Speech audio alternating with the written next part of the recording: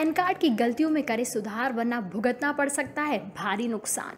31 जुलाई से पहले अपने पैन कार्ड नहीं सुधरवाया तो आपकी इनकम टैक्स फ़ाइल लिंक नहीं होगी। अगर आपके पैन और आधार में अलग अलग जानकारी है तो भी ये लिंक नहीं होगा।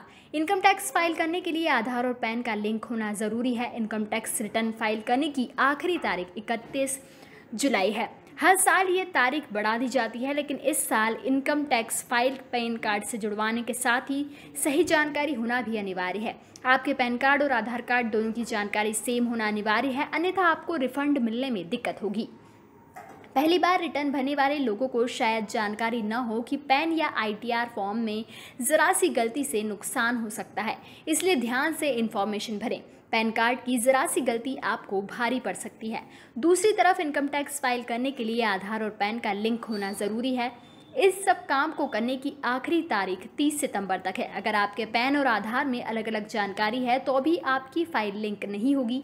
इसलिए इकतीस जुलाई से पहले ध्यान से पैन और आधार की गलतियों को सुधार लें, फिर उसे लिंक कर लें, ताकि रिटर्न फ़ाइल करते वक्त किसी तरह की परेशानी का सामना ना करना पड़े।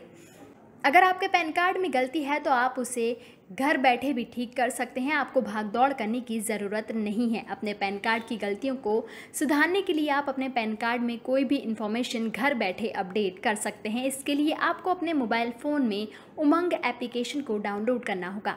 प्ले स्टोर से पहले उमंग एप्लीकेशन को डाउनलोड कर लें। अपने रजिस्टर्ड मोबाइल नंबर के ज़रिए इस ऐप पर लॉगिन करना है। लॉगिन करने के बाद माय पैन पर क्लिक करना है। यहाँ नया पेज खुलेगा, जिस पर पैन से संबंधित कई सेवाओं की जानकारी होगी। इनमें से करेक्शन चेंज वाले ऑप्शन को चुनना है। सी एस एफ़ फॉर्म खुलेगा, जिसमें गलत डिटेल्स को सुधारने का ऑप्शन होता है। सी एस एफ़ फॉर्म में पैन कार्ड नंबर डालना होगा और अन्य जानकारी डालनी होगी। प्रक्रिया पूरी होने के बाद करेक्शन फ़ीस भरना होगा। भुगतान नेट बैंकिंग, डेबिट और क्रेडिट कार्ड से किया जा सकता है। सहायक दस्तावेजों के साथ फॉर्म को फिर National Securities Depository Limited T I N facilitation center या पेन सेंटर में किसी पर भी जमा किया जा सकता है।